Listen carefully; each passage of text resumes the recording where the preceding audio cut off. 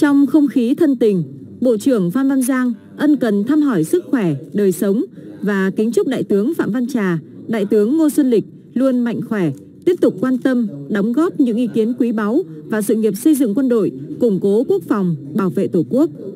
Đại tướng Phan Văn Giang cho biết, dưới sự lãnh đạo của Quân ủy Trung ương, Bộ Quốc phòng, thời gian qua, cán bộ chiến sĩ toàn quân đã thực hiện tốt chức năng tham mưu với Đảng, Nhà nước các vấn đề có tầm chiến lược về quân sự, quốc phòng, bảo vệ Tổ quốc, luôn sẵn sàng chiến đấu cao, nỗ lực phấn đấu, hoàn thành toàn diện các mục tiêu, nhiệm vụ. Quân đội luôn là chỗ dựa tin cậy, vững chắc của Đảng, Nhà nước và nhân dân. Trân trọng cảm ơn sự quan tâm của Quân ủy Trung ương, Bộ Quốc phòng và cá nhân Đại tướng Phan Văn Giang.